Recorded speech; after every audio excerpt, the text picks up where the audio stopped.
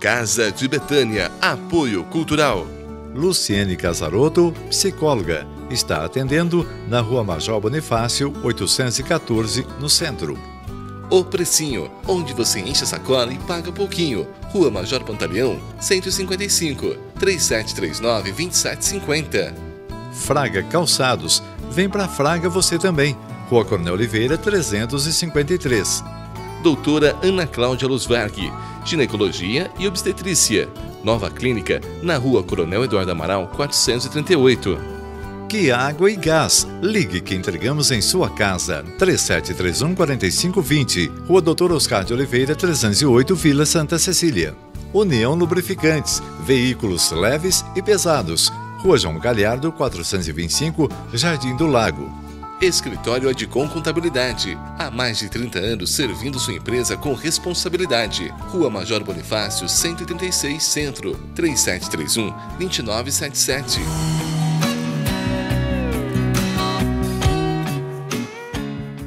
Olá, meu irmão, olá, minha irmã, a paz de Jesus. Estamos começando mais um programa Casa de Betânia, um programa da comunidade Betânia Javenice, Casa de Formação Santa Terezinha.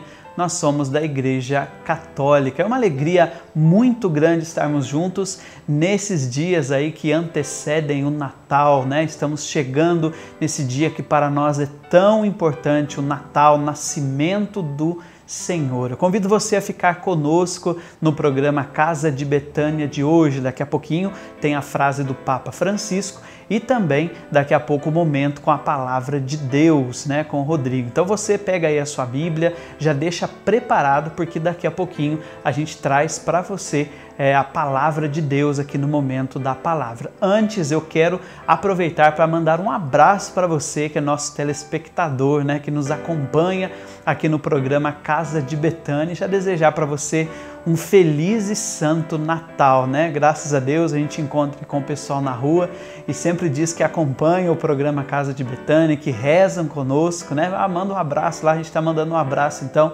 para você, meu irmão, minha irmã, telespectador assíduo aí do nosso programa.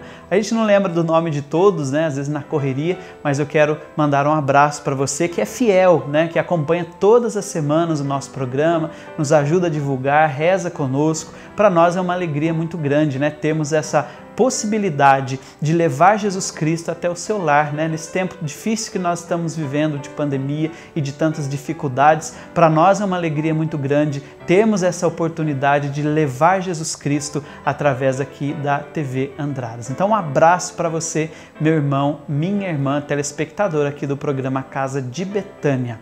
Agora eu vou falar para você então da frase do Papa Francisco, né, falando sobre o Natal. A frase de hoje diz o seguinte: se tomarmos o menino Jesus nos braços e nos deixarmos abraçar por ele, nos dará a paz do coração que jamais terá fim.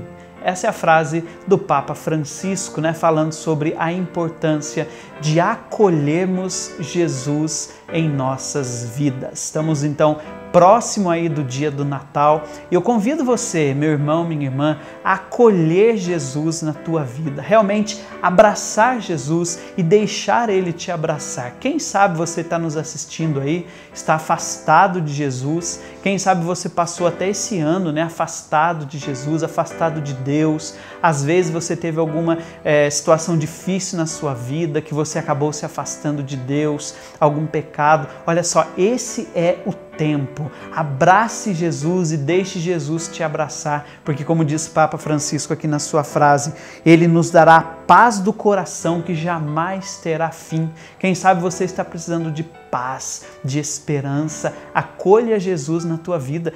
E meus irmãos, nós estamos num tempo tão propício, né? Refletimos aí no advento, trazendo várias reflexões, falando da importância de nos convertermos, de voltarmos mais para Jesus e como é importante nós darmos espaço a Ele na nossa vida. Então abrace Jesus, deixe Ele te abraçar, porque Ele dará para você a paz necessária para o teu coração e aproveite agora esse tempo do Natal. Essa é a frase do Papa Francisco.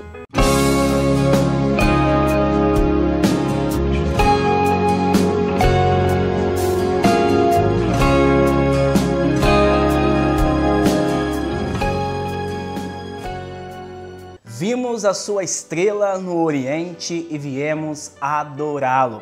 A paz, meus irmãos, nós estamos próximos ao Natal, a grande festa cristã que vem anunciar o nascimento de um Salvador, o nosso Senhor Jesus Cristo.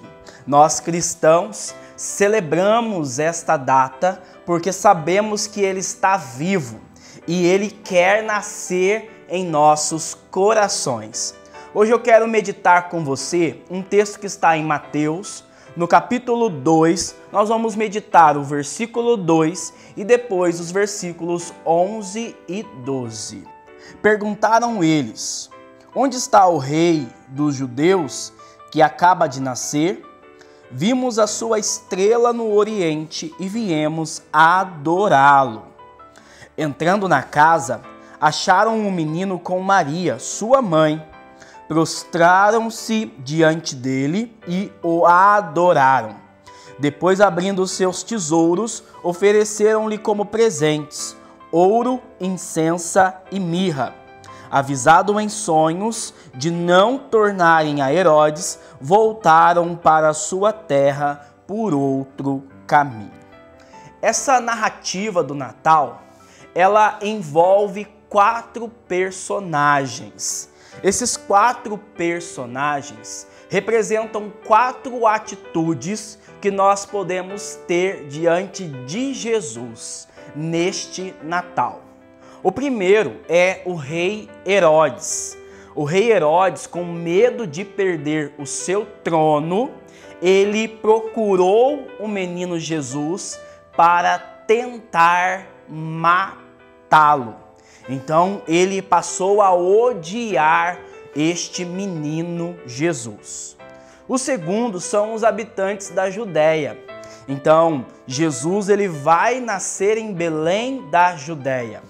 E os evangelhos narram que Maria e José não encontraram um lugar para que o parto acontecesse todas as casas estavam com as portas fechadas para ele.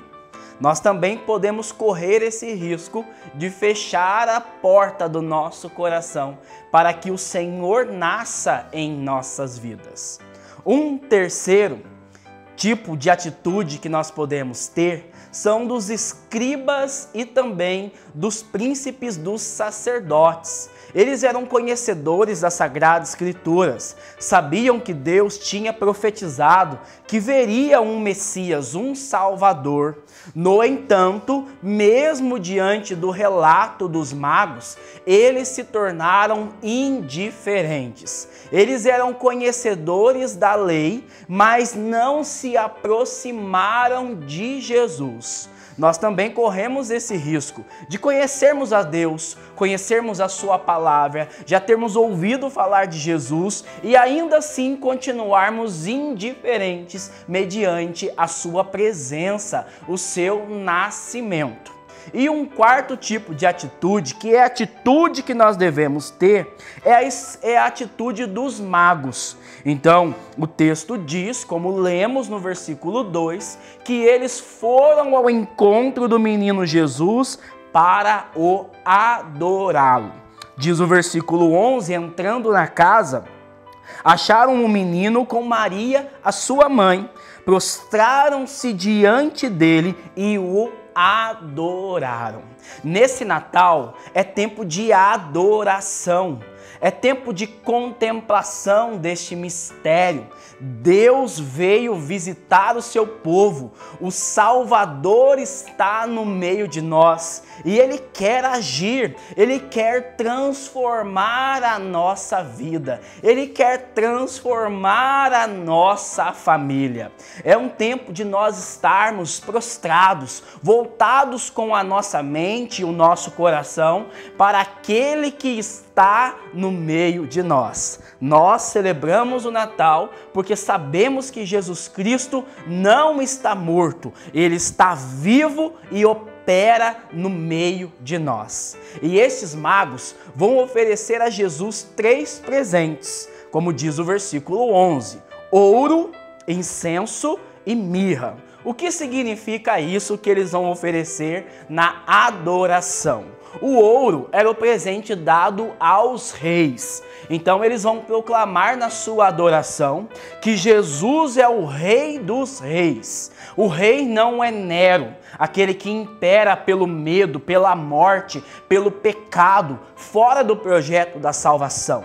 Mas o rei de suas vidas e o rei da nossa vida é o Senhor Jesus. E por isso nós o adoramos. Um segundo presente que eles vão oferecer é o incenso. O incenso na Bíblia, ele é a oração, porque o incenso sobe ao céu, assim como a nossa oração sobe até o trono de Deus. Natal é tempo de voltarmos em oração. Precisamos fazer com que a nossa casa fique nesse ambiente, nesse clima de orações, súplicas, adorações, louvores, aquele que vai nascer no meio de nós. E eles também vão oferecer a mirra. A mirra era um presente dado para embalsamar os mortos. Então eles estão profetizando que esse menino que é rei, que é oferecido a ele a oração porque ele é Deus, ele também será um menino que vai morrer por cada um de nós. E aqui está o grande mistério dessa salvação, que Deus nos amou tanto que ele morreu na cruz por cada um de nós. Jesus Cristo veio ao mundo, se encarnou, viveu no meio de nós para nos salvar que nesse Natal nós possamos proclamar nesta adoração que esse Jesus é o nosso Rei, que Ele é o nosso Deus, que Ele é aquele que nos ama e que morreu por cada um de nós. Eu desejo a você que nos acompanha neste programa, que sempre está conosco ouvindo essas meditações, que você possa verdadeiramente viver em adoração a espiritualidade do Natal. Celebremos o menino que nasce e está vivo no meio de nós. Louvado seja nosso Senhor Jesus Cristo, para sempre seja louvado.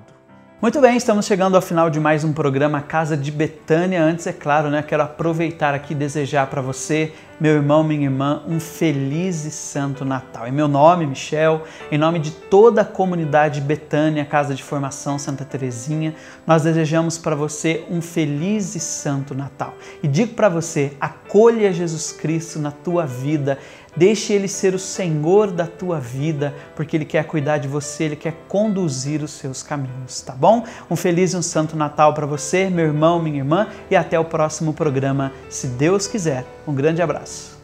Casa de Betânia, apoio cultural. Luciene Casaroto, psicóloga, está atendendo na Rua Major Bonifácio, 814, no centro. O Precinho, onde você enche a sacola e paga pouquinho. Rua Major Pantaleão, 155, 3739 2750. Fraga Calçados, vem pra Fraga você também. Rua Coronel Oliveira, 353. Doutora Ana Cláudia Luzverg, Ginecologia e Obstetrícia. Nova clínica, na Rua Coronel Eduardo Amaral, 438. Que água e gás. Ligue que entregamos em sua casa. 3731 4520. Rua Doutor Oscar de Oliveira, 308, Vila Santa Cecília. União Lubrificantes. Veículos leves e pesados. Rua João Galhardo, 425, Jardim do Lago. Escritório Adcom Contabilidade. Há mais de 30 anos servindo sua empresa com responsabilidade. Rua Major Bonifácio, 136, Centro. 3731 2977.